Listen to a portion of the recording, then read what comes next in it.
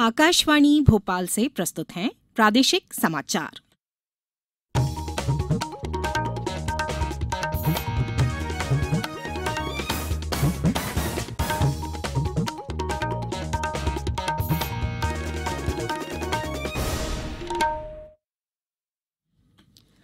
नमस्कार, समाचारों के साथ मैं राना शाहिद। मुख्य समाचार। रक्षा मंत्री राजनाथ सिंह आज दो दिन की यात्रा पर फ्रांस रवाना होंगे। वह पेरिस में राफेल लड़ाकू विमान को हासिल करेंगे। आयकर विभाग के राष्ट्रीय ई आकलन केंद्र का उद्घाटन आज केंद्रीय वित्त मंत्री निर्मला सीतारमण करेंगी।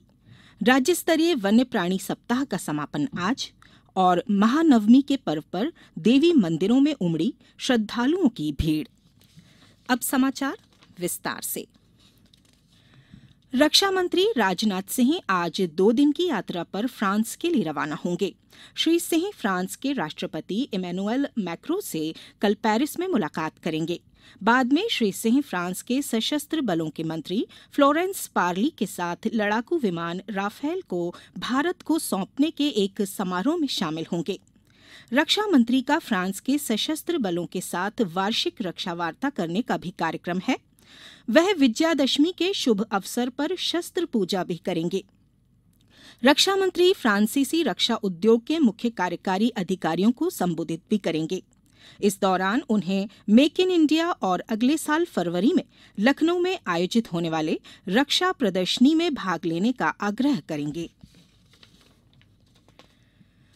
केंद्रीय वित्त मंत्री निर्मला सीतारमण आज नई दिल्ली में आयकर विभाग के राष्ट्रीय ई आकलन केंद्र का उद्घाटन करेंगी।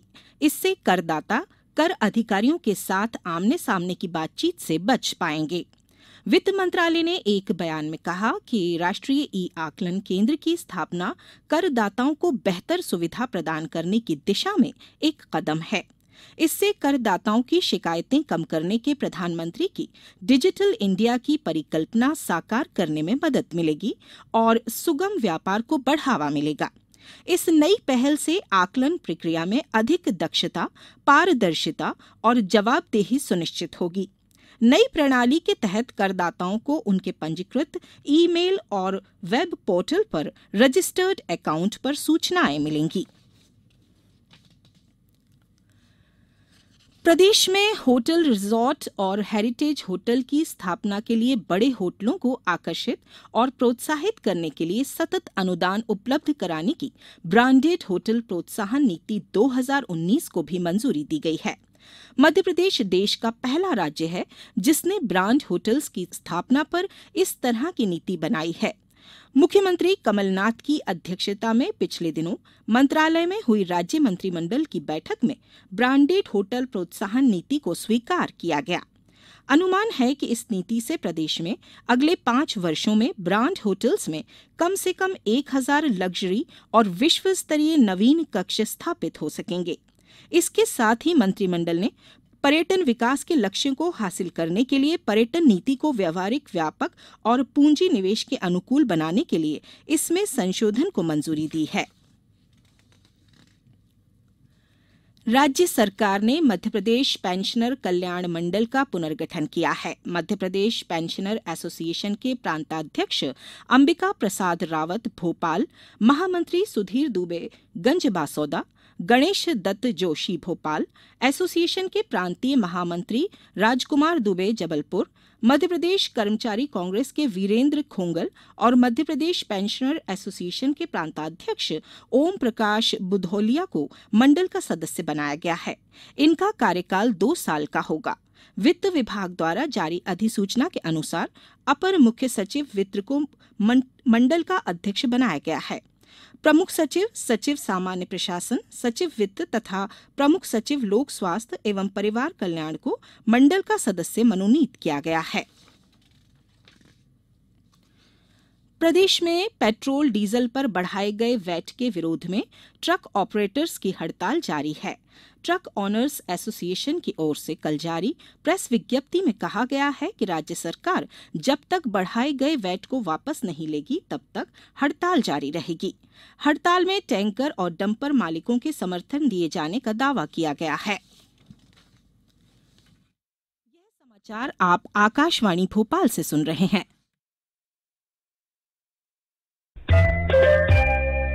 ये समाचार आप आकाशवाणी भोपाल से सुन रहे हैं।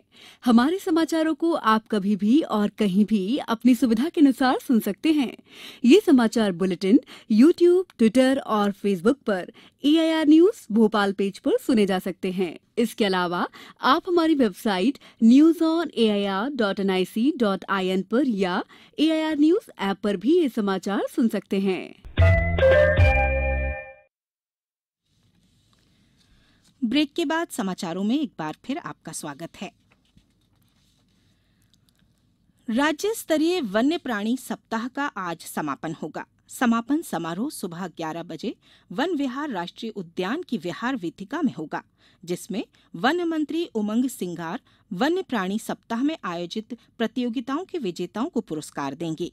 श्री सिंघार फ़ोटो प्रदर्शनी का अवलोकन करने के साथ ग्रीन कैलेंडर का विमोचन भी करेंगे। इस मौके पर वृत्तचित्र वन रक्षक प्रोटेक्टर ऑफ़ पैराडाइज का शुभारंभ एवं प्रदर्शन भी किया जाएगा। प्रदेश में आज महानवमी श्रद्धा और उल्लास से मनाई जा रही है। यह नवरात्र का आखिरी दिन है।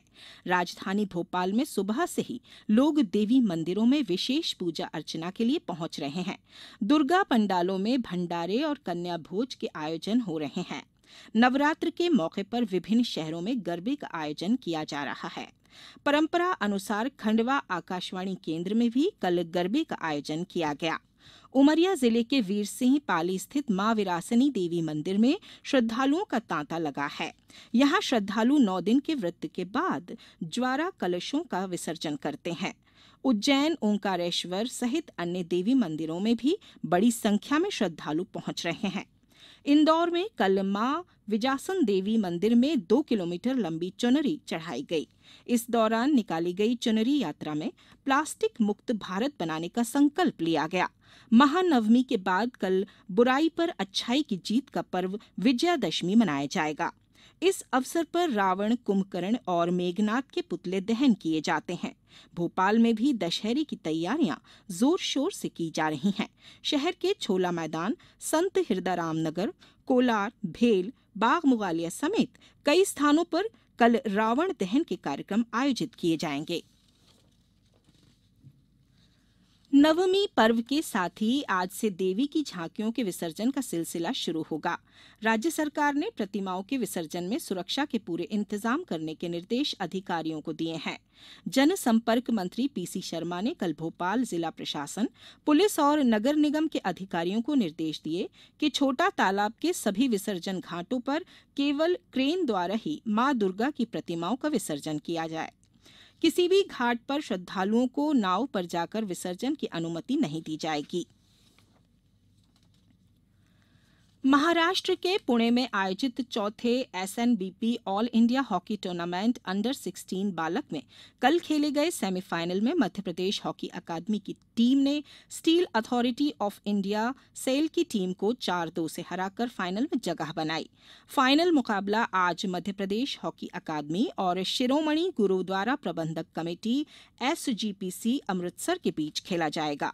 यह प्रतियोगिता एक अक्टूबर से चल रही है। कल खेले गए सेमीफाइनल मुकाबले के छठवें मिनट में मध्यप्रदेश हॉकी अकादमी टीम के कप्तान श्रेयस धुपे ने पहला फ़ील्ड गोल मारकर टीम की विजयी शुरुआत की। सातवें मिनट में अकादमी के खिलाड़ी लव कनौजिया ने दूसरा फ़ील्ड गोल मारकर टीम को दो शून्य से आगे कर दिया। कोनेन दाद ने पैंतीसवें मिनट तीसरा और थोनाओजाम इंगलेम्बा लोआंग ने पचासवें मिनट में फ़ील्ड गोल किया। अब कुछ समाचार संक्षेप में। खंडवा ज़िले में भारत सरकार के स्वास्थ्य मंत्रालय के अधिकारी 16 से 23 अक्टूबर तक प्रदेश के खंडवा और छिंदवाड़ा जिलों का भ्रमण कर स्वास्थ्य संस्थाओं में उपलब्ध सुविधाओं की समीक्षा करेंगे। सिवनी ज़िले के छपारा जबलपुर मार्ग पर धुनई घाटी में कल भीषण सड़क हादसे में एक ही परिवार के चार लोगों की मौत हो गई, जबकि तीन की हालत गंभीर है। उन्हें सिवनी जिला अस्पताल में भर्ती कराया गया है। अंत में मुख्य समाचार, एक बार फिर। रक्षा मंत्री राजनाथ सिंह आज दो दिन की यात्रा पर फ्रांस रवाना होंगे। वह पेरिस में राफेल लड़ाकू विमान को हासिल करेंगे। आयकर विभाग के राष्ट्रीय ई आकलन केंद्र का उद्घाटन आज केंद्रीय वित्त मंत्री निर्मला सीतारमण करेंगी। राज्य स्तरीय वन्य प्राणी सप्ताह का समापन आज और महानवमी के पर्व पर देवी मंदिरों में उमड़ी श्रद्धालुओं की भीड़। इस बुलेटिन में इतना ही। आकाशवाणी भोपाल से अगला प्रादेशिक समाचार बुलेटिन सुनिए। दोपहर दो बजकर तीस मिनट पर। नमस्कार।